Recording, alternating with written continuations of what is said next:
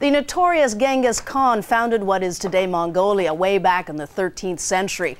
But 800 years later, many in the landlocked Asian country are using the United States as a role model for the future. Barry Peterson paid a visit. Mongolia is a place of vast open spaces, hardy people, bitter winters, and now a country in the midst of political change. A communist state under Soviet rule most of the last century, it became a democracy 15 years ago. And now it's caught between its traditional past and its modernizing future. And what better symbol of democracy than this, Lady Liberty?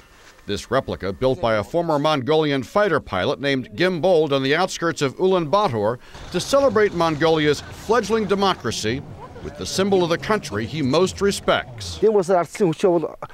America is the number one democracy in the world, he says, and this statue is the symbol of American democracy. Mongolia is a country squeezed between two powerful neighbors, Russia to the north, China to the south.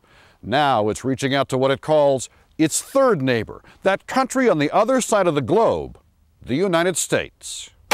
Which is why Mongolia sent a handful of soldiers to support the U.S. in Iraq and got a thank you visit from the first American president to set foot here.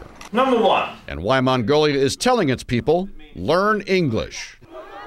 Mongolia is also learning the hard way that democracy is a messy business. People here can protest because it's an open society. And change comes with its own price. People complain about corruption and the end of the welfare state that once protected them from cradle to grave. But it is a price worth paying for the freedom that Mongolians now have, says the man with the statue. Even the birds, when they fly, they fly free, he told us. Freedom in a country that's now decided it's found the role model for its future.